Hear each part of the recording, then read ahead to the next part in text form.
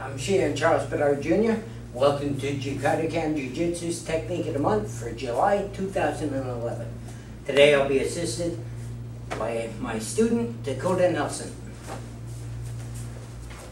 Today's technique is a technique, a defense against a punch.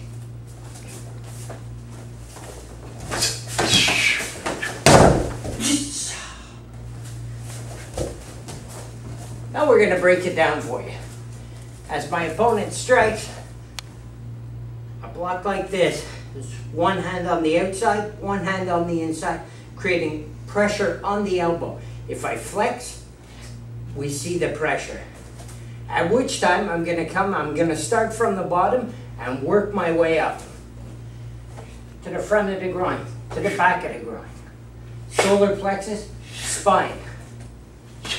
Koko, which time I turn, striking with a shuto, kicking behind his knee while pulling him back. We'll show you again in slow motion. One, two, three, four, five, six, seven. We'll show it once more to you at a quicker speed.